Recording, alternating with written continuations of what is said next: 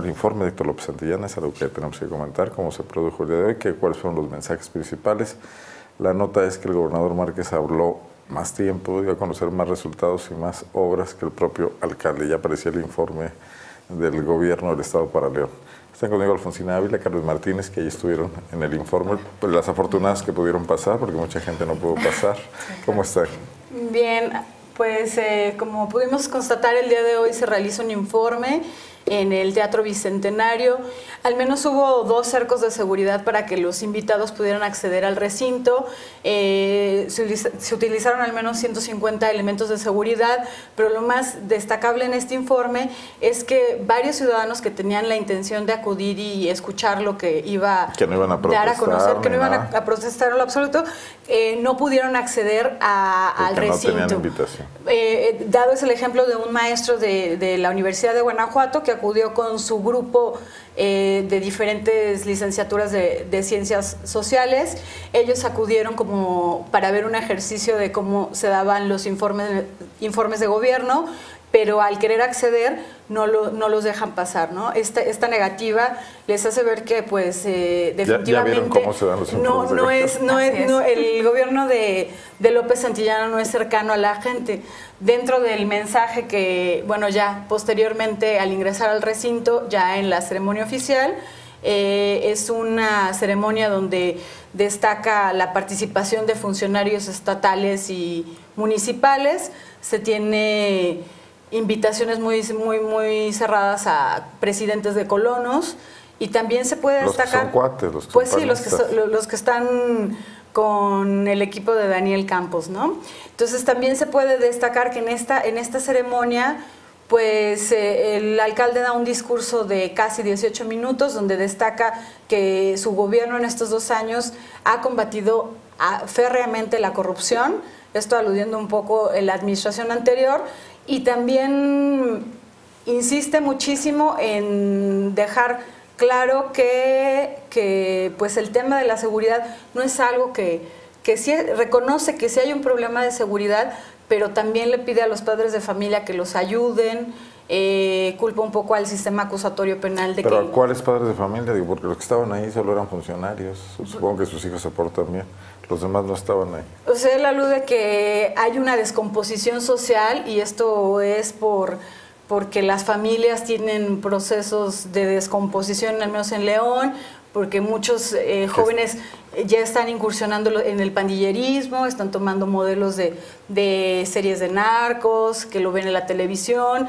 Él de alguna manera... ¿Quién, le hizo este discurso? No, no, no lo sé. ¿Emanuel o Nacho Camacho todavía? No, no lo sé, pero es un discurso muy desafortunado. ¿Qué estudio sociológico le, da esos datos? No se pueden hacer afirmaciones así con tan a la ligera, culpa a los de lo que él cree, ¿no? Él, él culpa a los legisladores porque Incluso hace un ejemplo muy, muy particular donde uno de... Uno, no estará enojado con, con, Alejandra Gutiérrez y por eso culpa a los legisladores, porque se le anda destapando.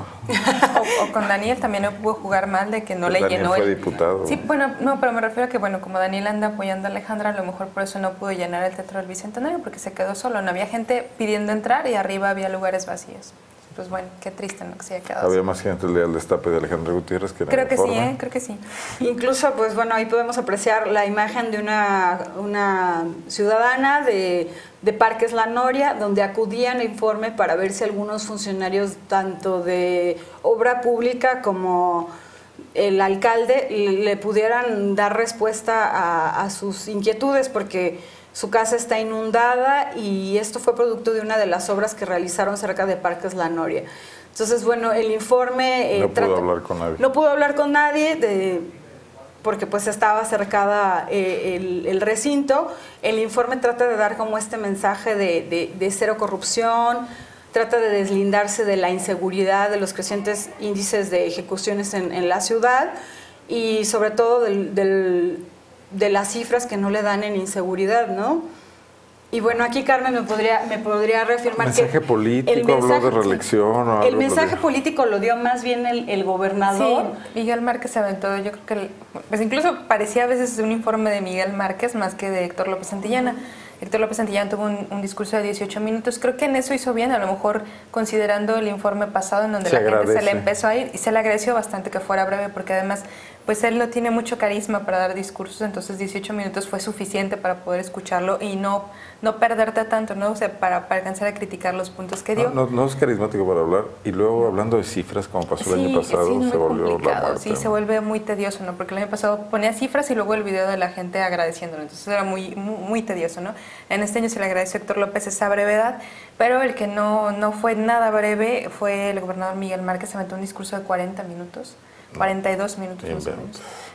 Qué, descortesía. Sí, una descortesía total. Pareció un, pareció, un informe de, en realidad del, gobernador Miguel Márquez. Diciéndoselo a sus cuates ahí, a los funcionarios públicos de León y a algunos funcionarios estatales. Fue quien se dedicó a dar, a dar cifras, a hacer anuncios, a mencionar lo que ya se había hecho, lo que el Estado había estado haciendo en, materia de carreteras, como la construcción de, bueno, la ampliación del eje metropolitano, de la autopista Salamanca. El centro de gobierno. Sí, el, centro de gobierno. También habló del Instituto Politécnico Nacional, que bueno, incluso ya es una obra que le tocó también a la administración de Bárbara Botello. No tanto o sea, viene anunciando las mismas obras. Sí, viene anunciando las obras desde que inició su sexenio, llevando la cuenta. Eh, y bueno, Miguel Márquez se concentró también en el punto, en, señalar que tres años es muy poco tiempo para poder realizar un cambio sustancial en una administración. Pero lleva cinco y no ha no. sido un gran cambio. bueno, pero ahí va su, su respaldo, ahí su, su, palmadita en la espalda al alcalde Héctor López Santillana, que han dicho que tiene la, la, intención de reelegirse. Entonces, bueno, Miguel Márquez dice, tres años son muy pocos, o sea, Héctor podrían restar los otros tres años, ahí se hizo un silencio y bueno, la gente se aplaudió para apoyar al gobernador Miguel Márquez como reafirmando que, le que les interesaría que el alcalde se religiera y después se le hace la acotación para Héctor o para cualquier otro alcalde, ¿no? Como diciendo, bueno, pues puede ser cualquiera. Sí se aventó un, un, mensaje político, resaltó la experiencia que tiene Héctor López Santillán en materia de atracción de inversiones, incluso señalando que todo el crecimiento económico que ha tenido el Estado pues se lo deben en gran parte a Héctor López Santillana, ¿no? Y que esta labor se ha visto reflejada también en el municipio de León con la atracción de parques industriales. Pero bueno, fue un discurso largo, mm, cansado, muchos más aplausos para el gobernador que para el alcalde. En, en, repetidas ocasiones había silencios y bueno, la gente aplaudía. Y para el alcalde, pues no, la verdad no hubo este, este apoyo. No, Carly. No, no, no, no, no hubo aplausos para Héctor López. Parecería así que, que, el alcalde se saboteó llevando al gobernador o sea, la, la, plataforma en la que se quería convertir este informe para la búsqueda de la reelección, pues falló pues era un intento como de arroparlo y darle como músculo al alcalde, pero al final el, mensaje que da el gobernador es confuso, ¿no? Eh, lo reafirma de alguna manera, pero opacándolo, ¿no? Entonces... ¿Y Danielito Campos, que algunas versiones dicen que ya lo andan corriendo, sí. de la vida? Eh, pues estaba por ahí eh, Daniel Campos, tranquilo, contento, no, no, no, no se le veía muy... No fue Diego, sino Rodríguez. No, no, fue, Diego, no se apareció. No se apareció. Sí, estuve muy al pendiente de verlo, no, no, no hizo que lo que, para que lo que publicamos hoy que no es real y que la Secretaría de Desarrollo eh, Social Humano va a demandar por la existencia de ese documento apócrifo.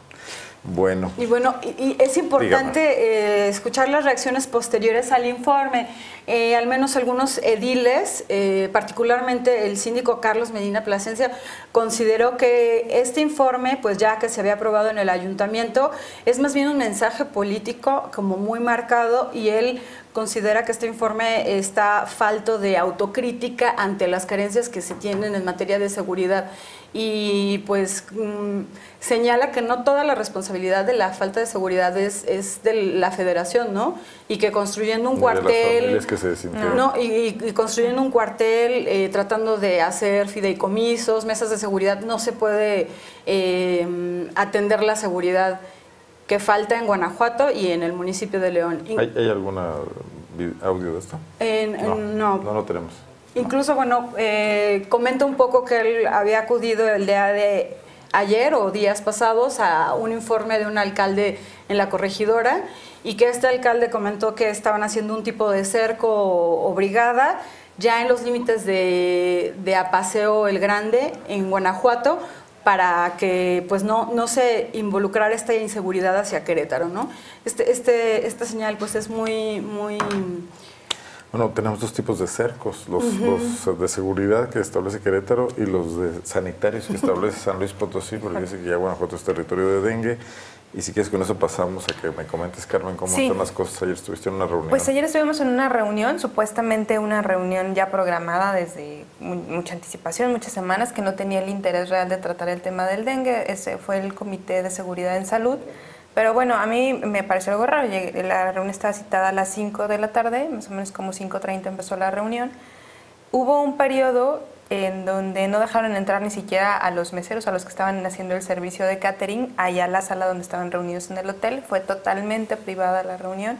Había, pues, ¿Presentes quiénes? Estaban presentes funcionarios de la Secretaría de Salud Federal, claro, no estaba el secretario, eran como algunos representantes, delegado del IMSS, el delegado del ISTE, también este, delegados de educación, eh, representantes de varias jurisdicciones de municipios, eh, obviamente el secretario de, Salud Estatal, el, secretario el director de Servicios de Salud también de la, Secretaría de Salud. Eh, la reunión se extendió más o menos por dos horas y media, estuvieron ahí reunidos. Y bueno, al final la verdad es que el secretario ya no quiso atendernos, nos dijo que ya había hablado en la tarde con Zona Franca, que ya no tenía algo más que agregar a los comentarios, nos habló el director de Servicios de Salud, la verdad es que una postura pues bastante reacia a dar declaraciones. No, hablando... no está viendo comunicación y el que está hablando es Juan Luis Mosqueda, que es el director del laboratorio de sí, estatal. de salud. Pero me dicen que estuvieron, bueno, una fuente me dice que estuvieron eh, funcionarios del Centro Nacional de Prevención y Control de Enfermedades, el CENAPRESE, así se le conoce por sus siglas. Esto es federal y de la Dirección General de Epidemiología de la Secretaría de Salud Federal. O sea, esto denota preocupación del el nivel federal por lo que está pasando en Guanajuato. Sí, bueno, al final de la reunión no, no quisieron dar muchas entrevistas, muy reacios. Incluso la, entrevista que me concedió el, el, encargado de servicios de salud habló hasta como con términos muy específicos, muy médicos, como para intentar perderme o intentar que yo no lo entendiera, ¿no? que se me fuera... Que, que me parece muy mal que no, no, quieran comunicarse con los medios y con la población, que es... claro, ¿no? además lo estuve persiguiendo durante 10 minutos para que me diera la entrevista, entonces bueno una situación de este tipo con, con la emergencia Pero Enrique que Avilés, que tan expedito es para salir a dar la cara frente a todas las broncas y conflictos en los que se mete el gobernador Márquez, ya ha estado ausente de este tema del, dengue, cuando se requiere una política de comunicación específica, eh, nutrida de elementos técnicos, pero accesible para en un lenguaje accesible para, que, para informar a la población, más allá del discurso de los cacharros. Pues la entrevista fue muy técnica, ¿no? Como si yo fuera un experta en epidemiología en, ese nivel. Hablando de vectores, de, de puntos de, de, riesgos y bueno. Está bien, intenté entender lo más que pude, por más que repetía las preguntas para insistir en dónde se concentran, dónde se han focalizado los casos de dengue, al menos aquí en el municipio de León, las respuestas evasivas, ¿no? Bueno, eh, pero bueno, si supimos que así off the record, que en esta reunión pues sí se analizaron los casos, se vio que efectivamente hay una emergencia, una alerta epidemiológica, porque hay casos de dengue en 15 municipios, que esto bueno ya coloca a Guanajuato como una de las entidades con mayores casos en el, estado y que sí se tendría que determinar una alerta epidemiológica. El día de hoy eh, hablé con Mario Sopeña Mata, quien es el director de salud municipal, y creo que él es la entrevista que al menos me parece ha sido más concreta y ha aterrizado más puntos respecto al dengue, mucho más que la Secretaría de Salud. ¿Qué dijo?